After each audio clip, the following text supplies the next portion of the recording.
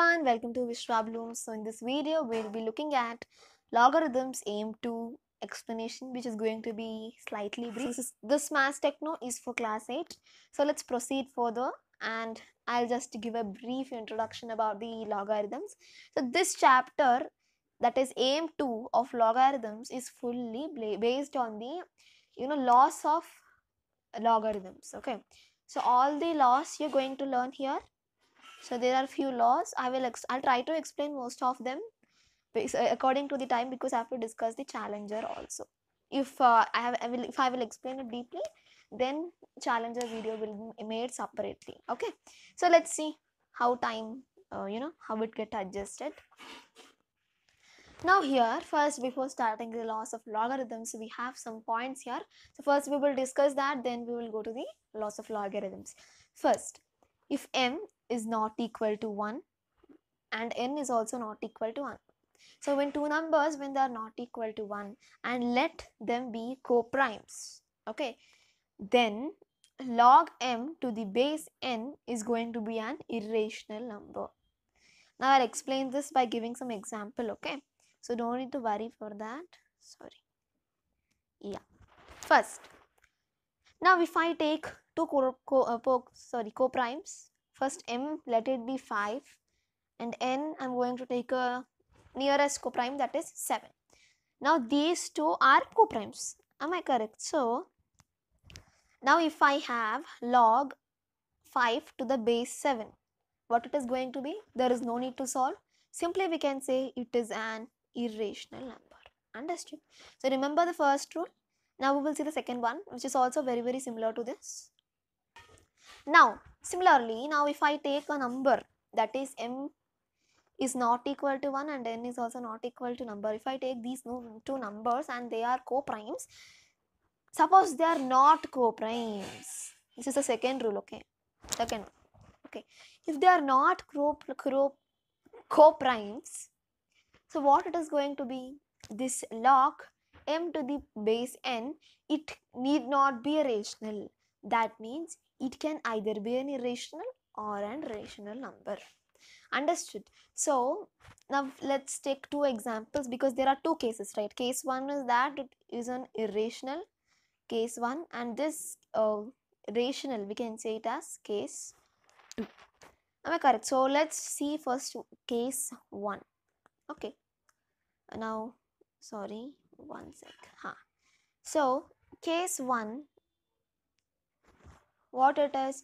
Here m and m and n are co-primes and they are not equal to 1 remember this okay. And log m to the base n is rational or irrational. Now we will see example first one. That is the case one right which we are going to see. Okay case one. Now first let's take uh, these two numbers that is log 6 to the base 3 now how do we solve this? Actually for solving this we need to know the laws okay? So this is going to be irrational. We know this right? Because if both are even though both are not co-primes it is going to be an irrational. Now if i tell about that i have to start the laws of logarithms right? So in when starting the log- laws of logarithms use the particular law and tell me which law you have used in order to solve this. Okay you will comment me this. Okay.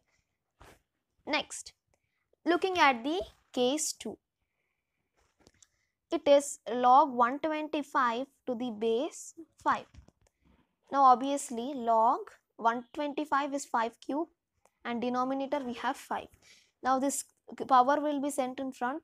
So 3 log 5 to the base 5 so this entire thing will become 1 so what is the answer? It is 3 which is an rational number. Correct. So this is the starting point. Let's move to the laws of logarithms now. Laws of logarithms. So let's start the first law.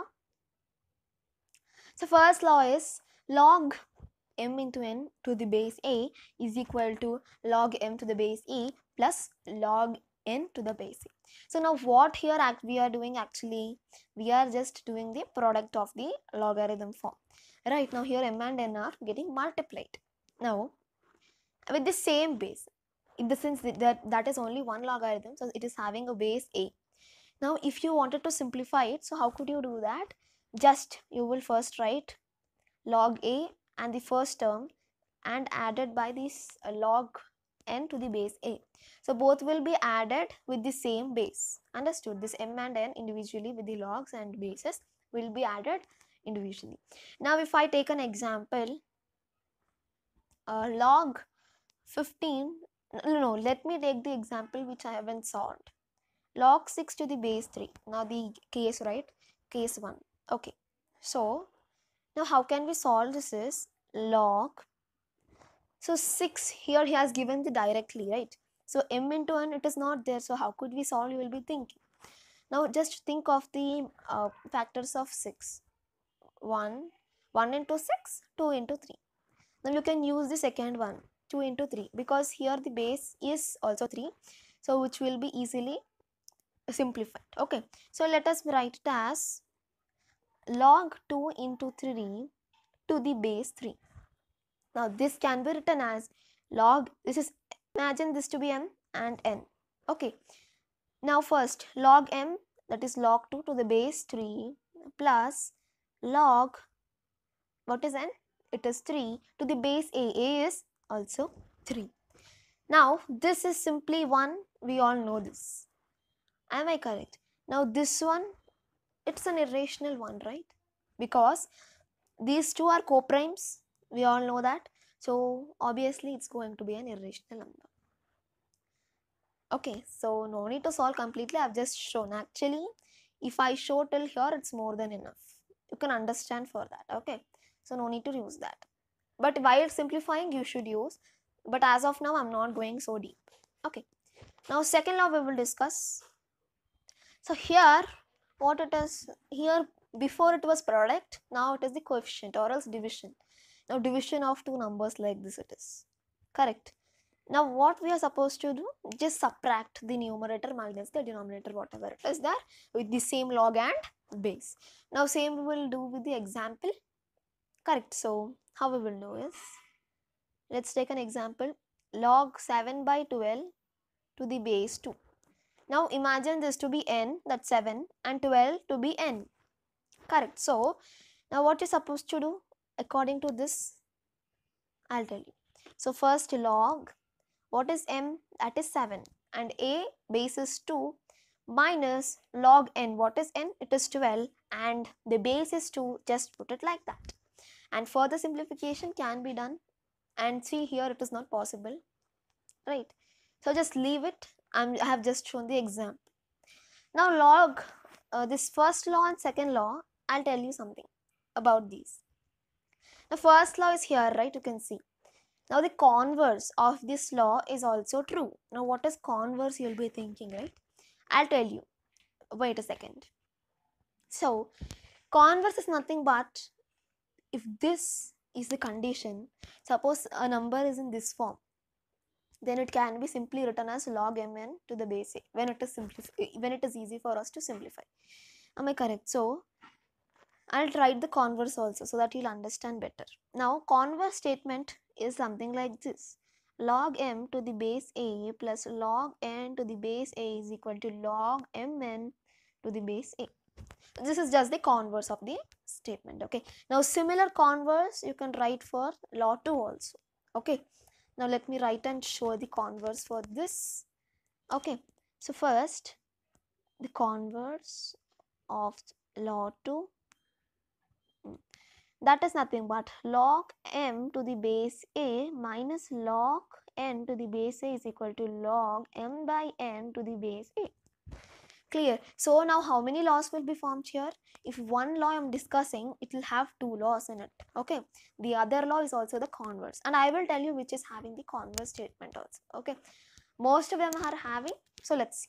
This is also having a converse statement. So when you are remembering one statement, in that there will be two statements okay remember this is the first law and one more thing is there for first law i will tell you that also if there are three numbers here in multiplication, if there are three numbers m and p to the same base a, then it can be written as log m to the base a plus log n to the base a plus log p to the base a. So remember this also, just you can un understand it. Okay, but this kind of law is not there for uh, for the second law. Okay, because it is division, you can't do it.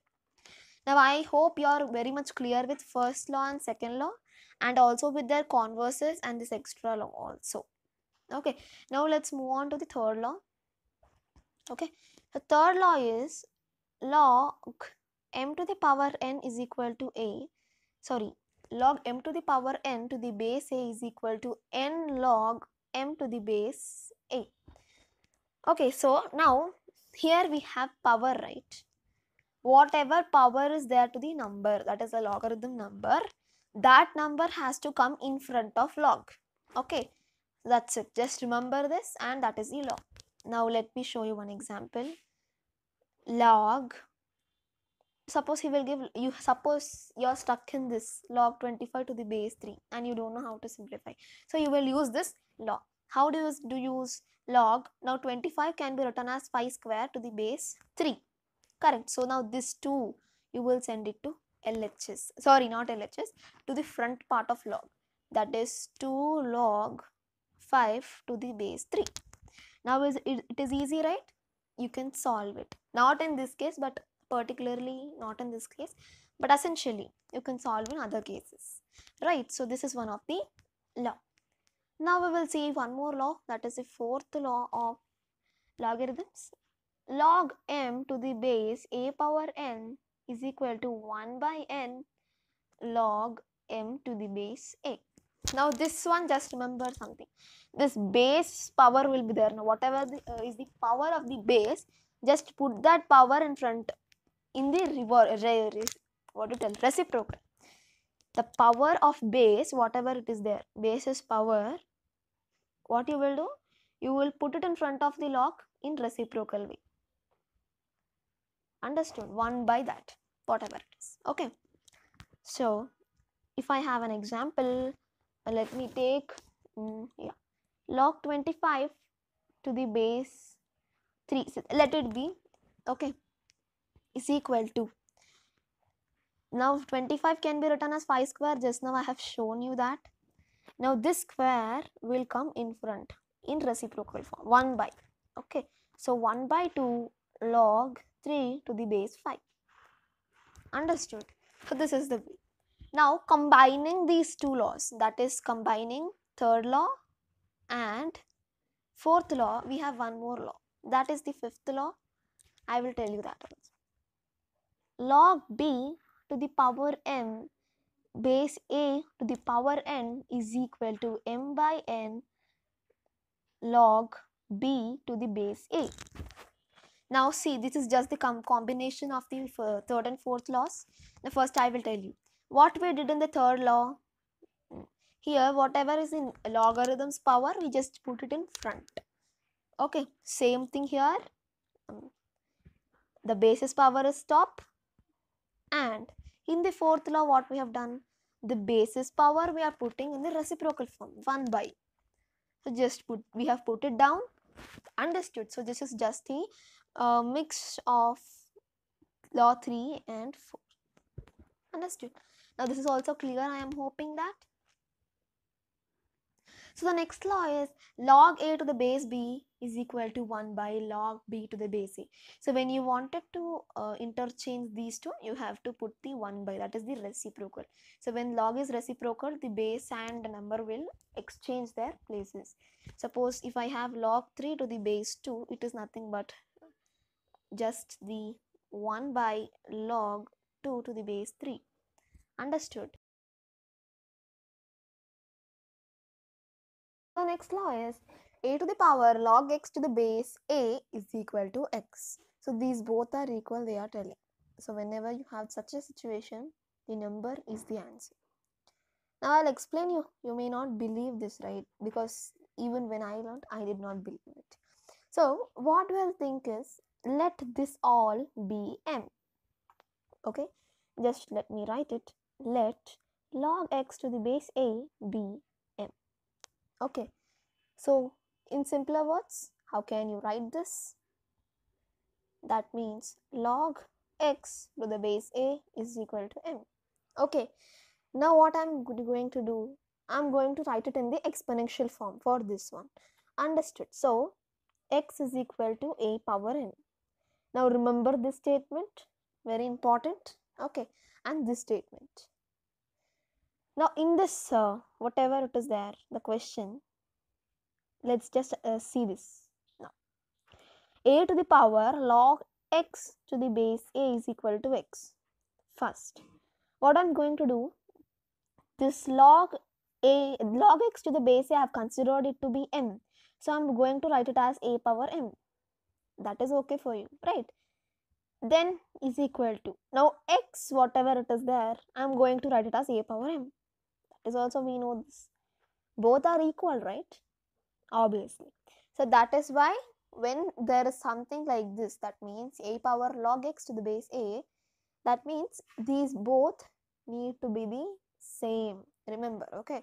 The base and this uh, base of the logarithm and base of the exponent must be the same, these two. And these two must be the, then will be the same, okay? So let me make it clear for you. Yes. So a power m is equal to a power m. So that is why it is true, okay? I hope you understood this. This is the proof. If you want, you can note it. Okay. So I think it's better. Uh, we'll start the challenges in the next video. So thanks for watching our video. Please do support to our channel by liking, sharing and subscribing to Vishwablooms. And don't forget to click the bell icon. Bye bye. See you in the next video.